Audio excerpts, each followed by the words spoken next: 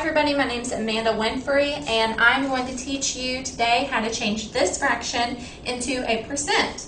So we start by dividing the bottom into the top. So that's 5 on the outside, 2 on the inside. Now 5 can't go into 2, so we add a decimal, add a 0, and we bring our decimal up, but 5 can go into 20. 5 goes into 20 four times, subtract 20, that leaves us with 0. Okay, so we have 0.4. Well, that's not our percent. We have to move our decimal two places. 1, 2, you move it two places to the right. That gives us 40.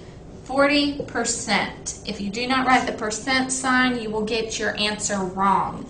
So that is how you change a fraction to a percent. Thanks for watching.